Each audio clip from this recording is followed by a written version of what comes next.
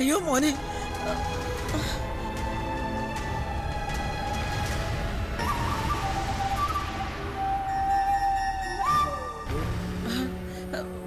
മോനെ എന്താ പറ്റിയത്?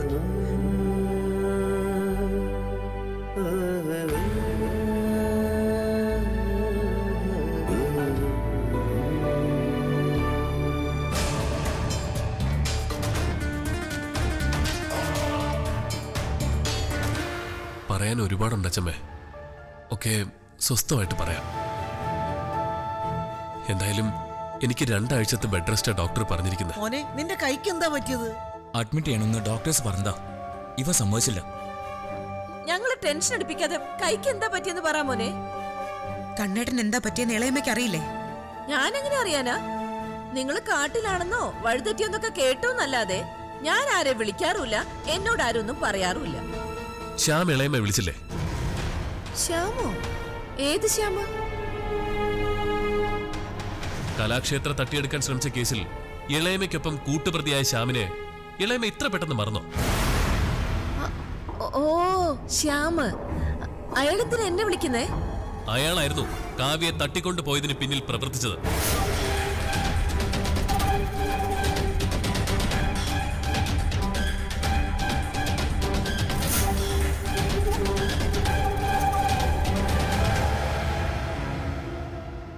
കേസുമായിട്ട് മുന്നോട്ട് പോകാൻ തന്നെയാ തീരുമാനം. ശ്യാമിന് പിന്നിലോ ആരെങ്കിലും ഉണ്ടോന്ന് പോലീസ് കണ്ടുപിടിച്ചിരിക്കും.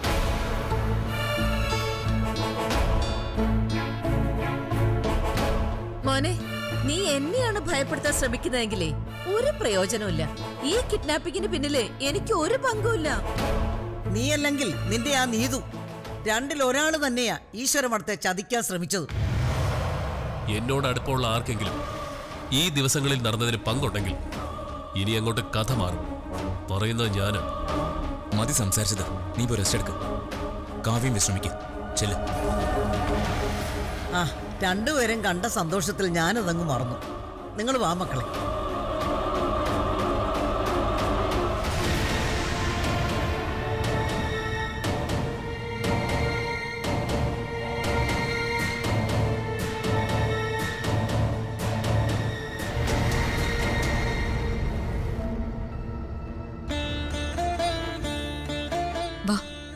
അലച്ചിൽ തുടങ്ങിയിട്ട് കുറെ ദിവസമായില്ലേ? നമ്മുടെ കാറുകൾ ഫോറസ്റ്റ് ഓഫീസിൽ കിടക്കുക അത് മറന്നു. ഞങ്ങൾ പോയി കാർ എടുത്തിട്ട് തിരിച്ചു വരാം.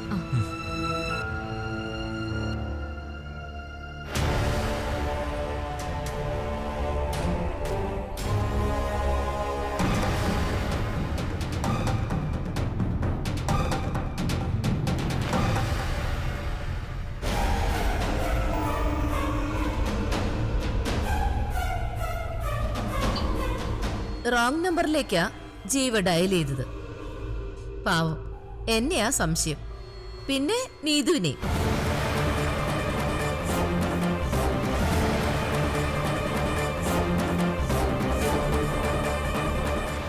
എന്തെങ്കിലും പഴുതുണ്ടെങ്കിലേ രക്ഷപ്പെടാനുള്ള വഴി ആലോചിച്ചോ. ഒരു കള്ളക്കഥ പടച്ചുണ്ടാക്കി നീതുവിനൊരു മാർഗം തെളിയിച്ചതായിരുന്നു. ഇനി ചിലപ്പോ അതും ചീറ്റിപ്പോയെന്നിരിക്കും.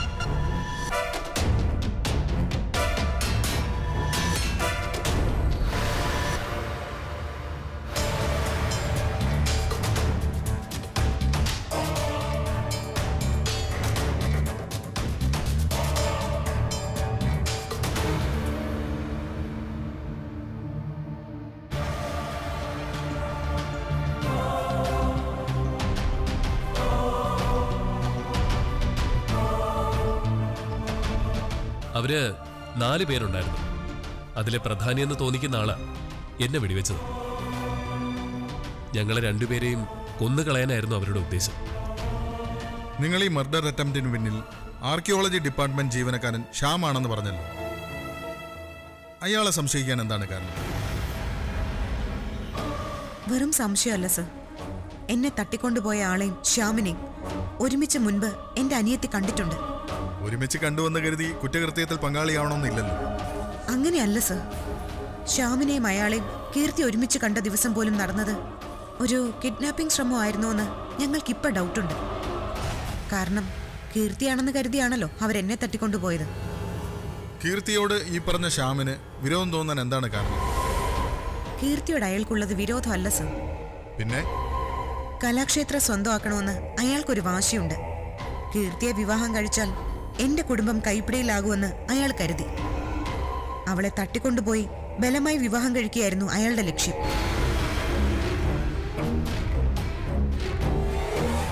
അവളെ കൊണ്ട് ഏതോ മുദ്രപത്രത്തിൽ അയാൾ ഒപ്പിടിപ്പിച്ചിട്ടുമുണ്ട്. ഞാനും ഒപ്പിടണമെന്നാണ് അയാൾ പറഞ്ഞിരുന്നതെങ്കിലും അതിനു മുൻപ് കണ്ണേട്ടൻ വന്നെന്നെ രക്ഷപ്പെടുത്തി. കീർത്തിയെ രക്ഷിക്കാനുള്ള ധൃതിയിൽ ശിവയ്ക്കും സിദ്ധുവിനും ആ മുദ്രപത്രം കണ്ടെത്താൻ കഴിഞ്ഞില്ല. അതുകൊണ്ട് ഇനി എന്തൊക്കെ കുഴപ്പങ്ങളുണ്ടാവുമെന്നും അറിയില്ല. ഇവളുടെ കുടുംബത്തോട് മാത്രമല്ല ശ്യാമിന് എന്നോടും ഉണ്ടൊരു പേഴ്സണൽ ഗ്രഡ്ജ് ഇവളെ തേടി ഞാൻ എത്തിയപ്പോ എല്ലാം കൂടി ഒരുമിച്ച് തീർക്കാന്നായിരിക്കും അവൻ കരുതിയിരുന്നത്. അതുകൊണ്ടായിരിക്കും എന്നെ ഇവളെയും കൊന്നുകളയാൻ അവൻ അക്രമികളോട് പറഞ്ഞത്. കിഡ്നാപ്പ് ആസൂത്രിതമായിരുന്നു എന്നുള്ള കാര്യം ഉറപ്പാണ്. അതിൽ നിങ്ങളോട് അടുപ്പമുള്ള ആർക്കെങ്കിലും പങ്കില്ലേ എന്നും ഞങ്ങൾ സംശയിക്കുന്നു. ഒരു പ്രത്യേക പൊസിഷനിൽ വെച്ച് അവർ വാഹനം മാറി. അതുകൊണ്ടാണ് സി സി ടി വി ക്യാമറയിലൂടെയുള്ള പോലീസിന്റെ തെരച്ചിൽ പാഴായിപ്പോയത്. നമ്മൾ വണ്ടി നമ്പർ മനസ്സിലാക്കിയെന്നും അവരുടെ റൂട്ട് കണ്ടെത്തിയെന്നും അവരറിഞ്ഞത് എങ്ങനെയാണെന്ന് അന്വേഷിക്കണം. എനിക്ക് സംശയം നിങ്ങളുടെ കൂടെ ഉണ്ടായിരുന്ന രണ്ടുപേരെ തന്നെയാണ്. എന്റെ കൂടെ ഉണ്ടായിരുന്നത് അനിയൻ ശിവയും എനിക്ക് സഹോദര തുല്യനായ സിദ്ധു മാത്രമാണ് അവരിൽ നിന്ന് ഈ വീട്ടിലേക്ക് ചില ഇൻഫർമേഷൻസ് പാസ് ചെയ്തിരുന്നു. ശ്രീകുട്ടിയും ശിവാനിയും വഴി മറ്റു പലരും അത് അറിഞ്ഞിരിക്കാം. ഈ വീട്ടിലും പുറത്തും ഞാനുമായി ബന്ധമുള്ള ആരെ വേണമെങ്കിലും താങ്കൾക്ക് ചോദ്യം ചെയ്യാം. എനിക്ക് ഒരു ഒബ്ജക്ഷനും ഇല്ല. അഡ്വക്കേറ്റ് ശ്രീജിത്ത് ഭാസ്കറിന്റെ മൊഴി അനുസരിച്ച് പ്രതികളിൽ ഒരാളെ തിരിച്ചറിഞ്ഞിട്ടുണ്ട്. ഒരു ചുടുകാട് ഷൈജു കൊട്ടേഷൻ ടീമാണ് അവനെ പൊക്കിയാൽ ബാക്കിയുള്ളവരുടെ പങ്ക് നിഷ്പ്രയാസം തെളിയിക്കാൻ പറ്റും. അവന്റെ സ്വഭാവം അനുസരിച്ച് ആദ്യത്തെ ഇടി കിട്ടുന്നതിന് മുമ്പ് തന്നെ തത്ത പറയുന്ന പോലെ സത്യം മുഴുവൻ വിളിച്ചു പറയുന്നതാണ്.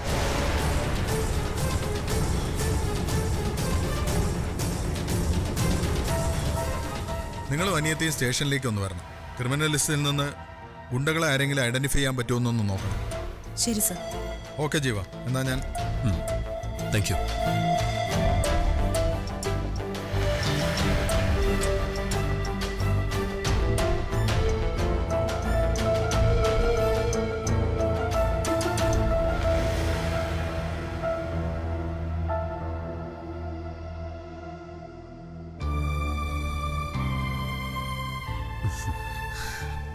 കുടിക്കാൻ വെള്ളവും മറ്റോ വേണോ?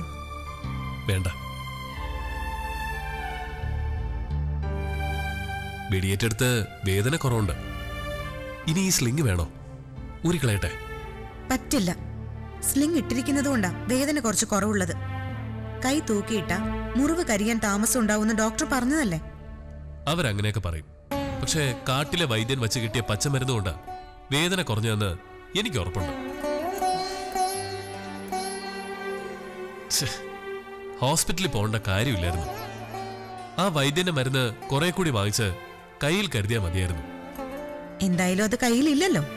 അപ്പൊ പിന്നെ അവൈലബിൾ ട്രീറ്റ്മെന്റ് നടത്തിയല്ലേ പറ്റൂ? എന്നാലും രണ്ടാഴ്ച കൈ ഇങ്ങനെ സ്ലിംഗിൽ വെക്കാന്ന് വെച്ചാൽ അതോടെ ഈ കൈയുടെ ഫ്ലെക്സിബിലിറ്റി മുഴുവൻ പോകും. ശരീരം വഴങ്ങാതായ അത് അഭിനയത്തെ ബാധിക്കില്ലേ? കണ്ണേട്ടൻ ഇനി എന്തൊക്കെ ന്യായം പറഞ്ഞാലും സ്ലിംഗ് ഊരാൻ ഞാൻ സമ്മതിക്കില്ല. ഇതഴിക്കണമെന്ന് എന്താ ഇത്ര നിർബന്ധം? എന്നോട് പറ. എന്താവശ്യമുണ്ടെങ്കിലും സാധിച്ചു തരാൻ ഞാനില്ലേ? പിന്നെന്താ ഇതുകൊണ്ടുള്ള ബുദ്ധിമുട്ട്? അത് പിന്നെ മരണത്തിന്റെ വക്കിൽ നിന്ന് എന്നെ ജീവിതത്തിലേക്ക് തിരിച്ചു കൊണ്ടുവന്ന നിന്നെ ഒന്ന് ചുറ്റിപ്പിടിക്കാൻ പോലും എനിക്ക് പറ്റുന്നില്ലല്ലോ. അത് ഓർക്കുമ്പോ എനിക്ക് ആകെ ദേഷ്യം വരിക. എന്തിനാ ദേഷ്യം വരുന്നത് എന്നെ ചേർത്ത് പിടിക്കാൻ ഈ ജന്മം മുഴുവനും ബാക്കി കിടക്കുകയല്ലേ എന്നാലും ഈ ദിവസം പോലെ ആകുമത് മരണദേവനെ പിന്തുടർന്ന് യാചിച്ച് ഭർത്താവിന്റെ ജീവൻ പിടിച്ചു വാങ്ങിയ സ്ത്രീയുടെ കഥ. കുട്ടിക്കാലത്തെന്നോ അച്ചമ്മ പറഞ്ഞു തന്നിട്ടുണ്ട്. നമ്മുടെ ജീവിതത്തിലും അത് തന്നെയല്ലേ സംഭവിച്ചത്. ഈ ദിവസം നിന്നെ ഒന്ന് കെട്ടിപ്പിടിച്ച് എന്റെ സ്നേഹം അറിയിച്ചില്ലെങ്കിൽ എനിക്ക് ഉറക്കം വരില്ല കാവ്യെ.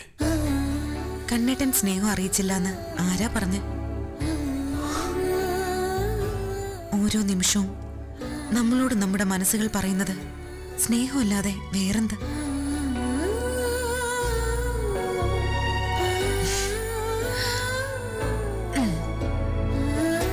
കണ്ണേട്ടനെ ഞാൻ ചേർത്ത് പിടിക്കാലോ. ഞാൻ ഇങ്ങനെ ഇരുന്ന് ഉറങ്ങിക്കോട്ടെ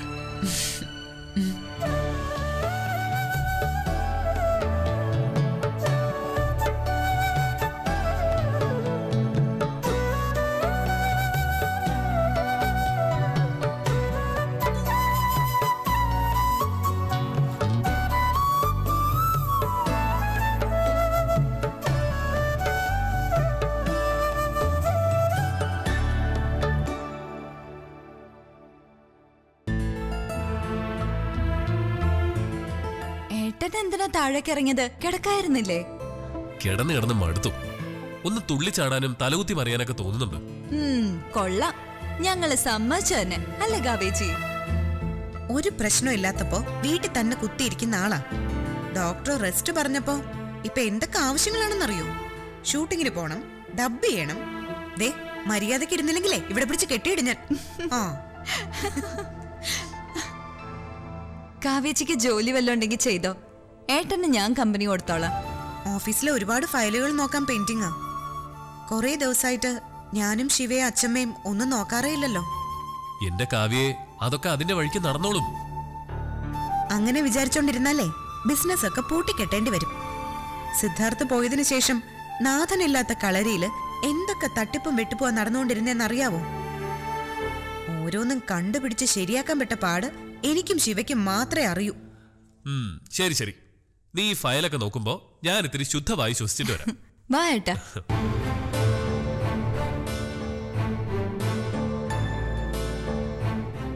കാവ്യ. ഇപ്പോഴാ ഒന്ന് ഫ്രീ ആയത്. നമുക്ക് ഇത്തിരി ജോലിയുണ്ട്. ഓഫീസിലെ കുറെ ഫയലുകൾ ശിവൻ നിന്നെ ഏൽപ്പിച്ചിട്ടില്ലേ? ആ അതൊക്കെ ഇങ്ങ് എടുത്തിട്ട് വാ. ഒക്കെ ഞാൻ നിന്നെ പഠിപ്പിച്ചു തരാം. കുറെ ജോലി നിനക്കും ഷെയർ ചെയ്യണോന്ന് അച്ഛമ്മ പറഞ്ഞിരുന്നു. വാ. ഫയൽസ് എടുക്കാം. പക്ഷേ അതിനു മുമ്പ് കാവ്യയോട് എനിക്കിത്തിരി സംസാരിക്കാനുണ്ട്. എന്താ ശ്രീകുട്ടി? തൽക്കാലം ഞാൻ പറയുന്നത് കാവ്യ മനസ്സ് വെക്കേ ചെയ്യാവൂ. പുറമെ പ്രകടിപ്പിക്കരുത്. ഇല്ല നീ കാര്യം പറ. പറയണോ വേണ്ടയോന്ന് ഞാൻ ഒരുപാട് ആലോചിച്ചു. ഒരു സംശയം മാത്രം പക്ഷേ ഇത്തരം ചില തോന്നലുകൾ ശരിയാണെന്ന് പിന്നെ തെളിയാറുമുണ്ട്. ഇവിടെ നടന്ന സംഭവങ്ങൾക്ക് പിന്നിൽ ഈ കുടുംബത്തോട് ബന്ധമുള്ള ആരും ഉണ്ടെന്ന് ചേട്ടൻ പറഞ്ഞില്ല? ഉവ്വ്. സർക്കിൾ ഇൻസ്പെക്ടറും ആ സംശയം പറഞ്ഞിരുന്നു. എനിക്കൊരാൾ സംശയമുണ്ട് കാവ്യ. ആരെ?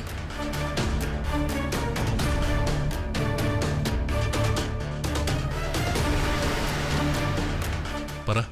ആരെയാ നിനക്ക് സംശയം? ഞാൻ ഏട്ടാ ഏട്ടൻ ആരോടും പറയില്ലല്ലോ. എനിക്ക് സംശയം തോന്നിയാൽ തീർച്ചയായും ഞാൻ പോലീസിനെ അറിയിക്കും. അതിന് വേണ്ട നടപടി എടുക്കുകയും ചെയ്യും. പറ എന്നെയും കാവ്യം ചതിച്ചത് ആരാ? ശ്രീകുട്ടിയുടെ ഏട്ടൻ അഡ്വക്കേറ്റ് ശ്രീജിത് ഭാസ്കരൻ.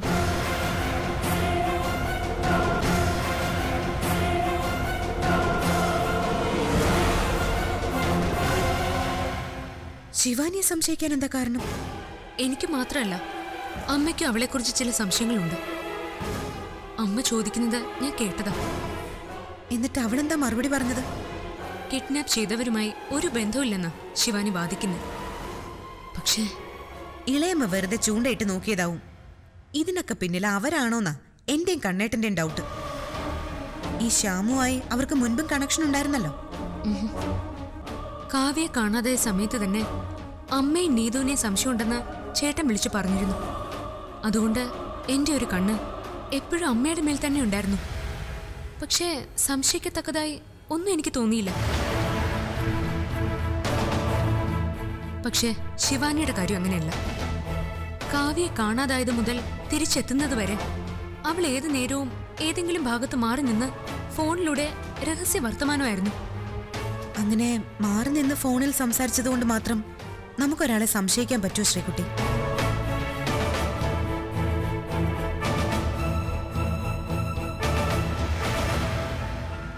എന്റേത് വെറും സംശയമല്ല ഏട്ടാ. ശ്രീകുട്ടിക്കും അവളുടെ ഏട്ടന് കിഡ്നാപ്പിലുള്ള ഇൻവോൾവ്മെന്റിനെ കുറിച്ച് അറിയാം. ശിവേട്ടൻ പറഞ്ഞ കാര്യങ്ങൾ ശ്രീകുട്ടിയാവാം അവളുടെ ഏട്ടന് ചോർത്തി കൊടുത്തത്. പക്ഷേ എന്തിന് ശ്രീജിത്ത് കീർത്തിയെ കിഡ്നാപ്പ് ചെയ്യാൻ ശ്രമിക്കണം? ഇതേ സംശയം എനിക്കുണ്ടായിരുന്നു ഏട്ടാ. ഞാൻ ഇവിടെ നടന്ന ചില കാര്യങ്ങൾ ഏട്ടനോട് പറയാൻ വൈകി. കീർത്തി അപകടപ്പെടുത്താൻ ശ്രീകുട്ടി മുൻപും ശ്രമിച്ചിരുന്നു. ഒരിക്കലല്ല രണ്ടു വട്ടം. അതെ ഏട്ടാ. ആദ്യം അവൾ ചായയിൽ ഉറക്ക ഗുളിക കലർത്തി കീർത്തിക്ക് കൊടുത്തു. അന്ന് കീർത്തി വണ്ടിയിൽ നിന്ന് മയങ്ങി വീണ് ഹോസ്പിറ്റലിലായ കാര്യം ഏട്ടൻ ഓർക്കുന്നില്ലേ? രണ്ടാമത്തെ തവണ അവൾ കൂടുതൽ വിദഗ്ധമായി പ്ലാൻ ചെയ്തു. സ്വന്തം കുറ്റം നീതുവിന്റെ തലയിൽ കെട്ടിവെക്കുന്നതിലും അവൾ വിജയിച്ചു. അന്ന് റെസ്റ്റോറന്റിൽ പാർട്ടി നടന്ന ദിവസം കീർത്തിയെ സ്വിമ്മിംഗ് പൂളിൽ തള്ളിയിട്ടത് ശ്രീകുട്ടിയായിരുന്നു. ഞാൻ പോലും സംശയിച്ചത് നീതുവിനെയായിരുന്നു. അത്രയ്ക്ക് വിദഗ്ധമായ അവൾ കളിച്ചത്.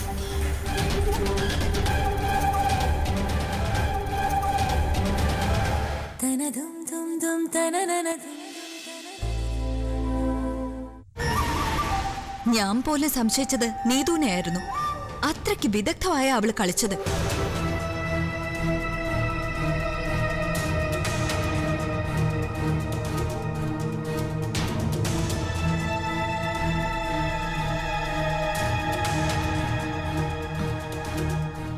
ശ്രീകുട്ടി ഒന്ന് സൂക്ഷിക്കണമെന്ന് ഞാൻ അന്നേ കാവ്യച്ചോട് പറഞ്ഞിരുന്നു. കാവ്യ ചേട്ടനോട് പറഞ്ഞില്ലേ? കാവ്യച്ചി അവളെ കാണുന്നത് അനിയത്തിയായിട്ടല്ലേ? അതുകൊണ്ടാവും ചോദിക്കാത്തത്. പക്ഷെ ഇത്രയും വലിയൊരു ചതി അവൾ ചെയ്യൂന്ന് ഞാനും കരുതിയില്ല. ഇതൊക്കെ നിന്റെ ഊഹങ്ങളല്ലേ? എന്തിനെങ്കിലും തെളിവുണ്ടോ? തെളിവില്ല. പക്ഷേ കീർത്തി അവളുടെ എൻഗേജ്മെന്റ് ദിവസം തന്നെ കിഡ്നാപ്പ് ചെയ്യാൻ ശ്രീകുട്ടിക്ക് അവളുടെ ഏട്ടനും വ്യക്തമായ ഒരു കാരണം. പോലീസ് ഭാഷയിൽ പറഞ്ഞാൽ ഒരു ഇൻവോൾവ്മെന്റ് ഉണ്ട്. എന്താ ശ്രീകുട്ടിയുടെ ഏട്ടൻ സ്നേഹിച്ചത് നമ്മുടെ കാവ്യച്ചിയാണെന്നുള്ളത് ഒരു തെറ്റിദ്ധാരണയായിരുന്നു. അയാൾ സ്നേഹിച്ചിരുന്നത് കീർത്തിയായിരുന്നു. ഗൂഢാലോചനയിൽ പങ്കാളിയാവാൻ ഇതൊരു കാരണമല്ല ഏട്ടാ? അതെ. എന്നാലും വ്യക്തമായ തെളിവില്ലാതെ ആരെയും ഞാൻ സംശയിക്കില്ല. ആ ആനുകൂല്യത്തിൽ ഇളയമ്മ പോലും ഇപ്പോഴും ഇവിടെ താമസിക്കുന്നത്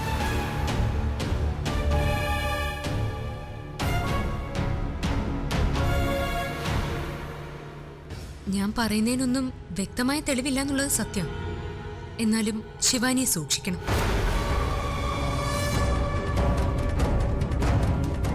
സിദ്ധുവിന് വേണ്ടി ആത്മഹത്യാ ശ്രമം നടത്തിയ ശിവാനി നല്ലവളായിരുന്നു.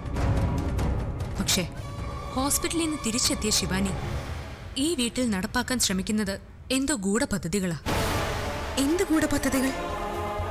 എന്ന് ചോദിച്ചാ എനിക്കറിയില്ല.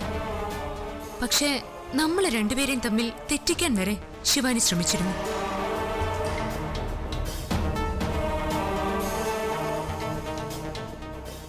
നമ്മുടെ ശ്രീകുട്ടിക്ക് കീർത്തിയോട് എന്തെങ്കിലും വൈരാഗ്യമുണ്ടോ? ഇല്ല. എന്തെങ്കിലും മുൻവൈരാഗ്യം അവർ തമ്മിൽ ഉണ്ടായിരുന്നെങ്കിൽ ശ്രീകുട്ടി തെറ്റുകാരിയാണെന്ന് ഉറപ്പിക്കായിരുന്നു.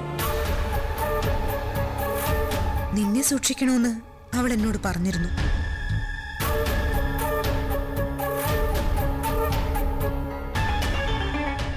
കിഡ്നാപ്പ് ചെയ്യേണ്ടത് കീർത്തിയാണെന്നുള്ള കാര്യവും ശിവാനിക്ക് നേരത്തെ അറിയാമായിരുന്നു കാവ്യ.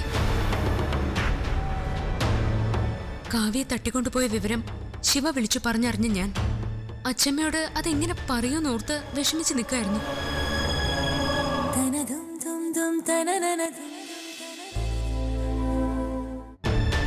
കാവ്യെ തട്ടിക്കൊണ്ടുപോയ വിവരം ശിവ വിളിച്ചു പറഞ്ഞറിഞ്ഞ ഞാൻ. അച്ഛമ്മയോട് അതെങ്ങനെ പറയൂന്നോർത്ത് വിഷമിച്ച് നിൽക്കായിരുന്നു അപ്പോ ശിവാനി എവിടേക്ക് വന്നു? വേണ്ട അച്ഛമ്മ. അച്ഛമ്മ അങ്ങോട്ട് പോയിട്ട് ഇപ്പൊ എന്താ പ്രയോജനം? ഒക്കെ ശരിയാവും. പറമോളെ എന്താ പ്രശ്നം? അത് പിന്നെ അച്ഛമ്മേ വേണ്ട ശിവാനി പറയരുത്. ഇനിയൊന്നും മറച്ചു വെച്ചിട്ട് കാര്യമില്ല ശ്രീകുട്ടി. അച്ഛമ്മ ഒക്കെ അറിയട്ടെ. അത് പിന്നെ ഇന്ന് രാവിലെ കീർത്തി ആരോ തട്ടിക്കൊണ്ടുപോയി. കീർത്തിയല്ല കാവ്യയാണ് കാണാതായതെന്ന കാര്യം ഞാൻ പറഞ്ഞപ്പോ അവൾ അവൾ ഉരുണ്ട് കളിച്ചു.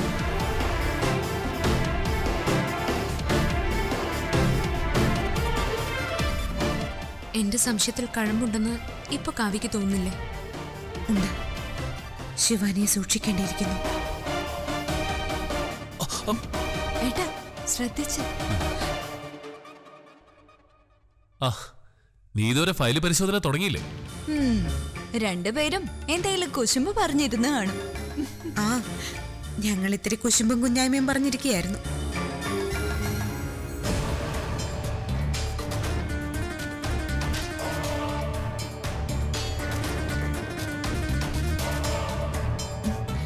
ഓഫീസിലെ ഫയൽ എടുപ്പിച്ച ഞാനും കൂടെ പരിശോധനയ്ക്ക് കൂടാൻ കാവിച്ചി. ഫയൽ എടുക്കണം. പക്ഷേ അതിനു മുൻപ് എനിക്ക് കണ്ണേട്ടനോട് സീരിയസ് ആയിട്ട് കുറച്ച് കാര്യങ്ങൾ സംസാരിക്കാനുണ്ട്. എനിക്ക് നിന്നോട് നമുക്ക് നമ്മുടെ റൂമിലേക്ക് പോയാലോ കണ്ണേട്ട?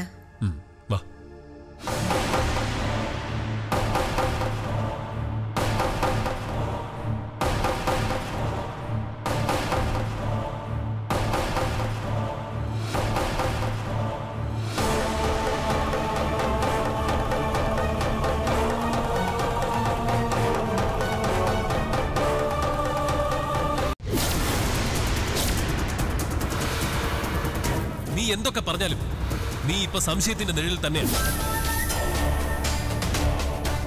ഈ വരവിൽ തൽക്കാലം അങ്ങൾ വിവാഹത്തിന്റെ കാര്യങ്ങളൊന്നും സംസാരിക്കരുത്.